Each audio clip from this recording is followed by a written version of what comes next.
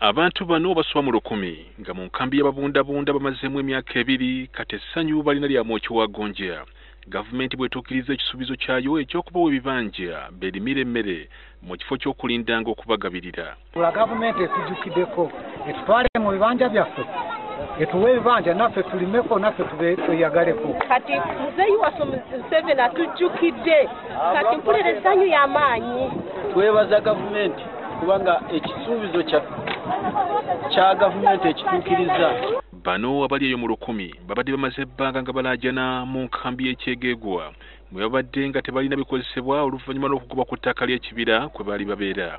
Okusinziira ku rdc w'ekyegeegwa mary nyakwera baguma omulimu gw'okubasengula gugenda mu maaso era nga ku ttaka lya gavumenti erya chaka 1 kwe baweereddwa ebibanja eby'obwannannyini ettaka lye limu lino era kwe kwateekebwa n'abantu abaggyibwa essango be government has given them land in former Chaka 1 refugee settlement where they will have their perm- permanent homes. ye omubaka akiikira ekitundu kino ekyekyaka north paul asaba asabye gavumenti okugenda mu maaso ng'ekyawa abantu bano obuyambi. Okutuusa lwe banaasobola okulima emmere olwo batandike okweyimirizaawo abantu bano gye batuba tutte bagenda kubeera batembuuzi era bajja kusanga bakyalina challenges nga ze babadde nazo. Ojja kusanga nga tebalina mayumba gakwebakamu enkuba zizino zitonnya. Ojja kusanga tebalina nsigo.